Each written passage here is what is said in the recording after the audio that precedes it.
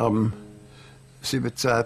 Januar 1997 ist Dorli gestorben. 60 Jahre haben wir zusammen sein. Seit dem März 2005 gibt es ein schmales Buch mit dem Titel Ob die Granatbäume blühen. Dort drin steht, was ich etwa zum Dorli gesagt habe, seit das es nicht mehr da ist. Das Motto über dem Text lautet,